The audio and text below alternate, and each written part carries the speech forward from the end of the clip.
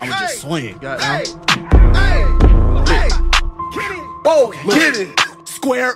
Yo, what's up guys? It's your boy Kool Aid Man 100X. Welcome back to another Back 4 Blood tip trick video to help you guys get better at Back 4 Blood. But before we jump into the video, make sure you visit my Patreon to get the Holly deck build and everything else that's available. So guys, we're going to be going over another deck called the Holly Melee Defender deck. So I don't want to keep you guys waiting, so let's jump into it. Okay guys, we're going to be going over Holly Melee Defender deck.